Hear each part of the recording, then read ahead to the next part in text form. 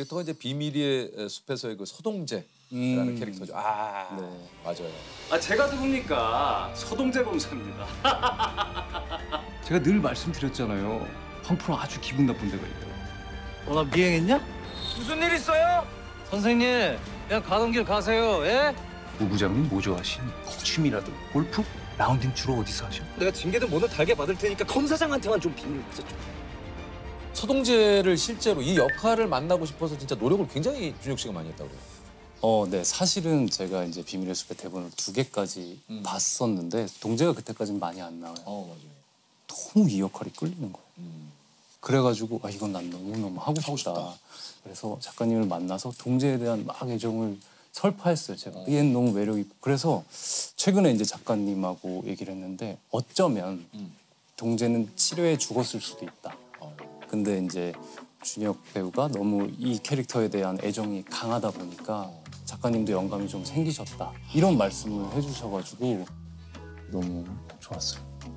아니 이게 이제 8분 30초나 되는 대사를 이게 원테이크로 아 네네.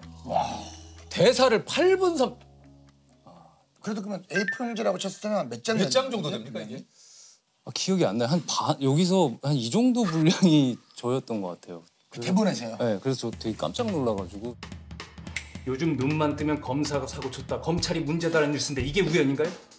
경찰이 하루가 멀더라고 언프를 해야 되는 이런 환경에서 부장님 후배들이 이 젊은 검사들이 의욕을 갖고 수사에 임할 수가 있을까요? 경찰이 왜 저러는데요? 지들도 아니까요. 이제 정말 때가 왔다. 검찰이 사상 최악의 욕을 먹고 있는 지금 이때 밟고 올라서야 된다. 지금 아니면 돈 길어.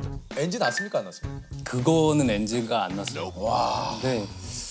그래서 승우 형이 조금 이렇게 메인 주인공으로서 한 번씩 NG도 내주고 그랬으면 좋았을 텐데 참. 아 조승우 씨도 NG가 없군요.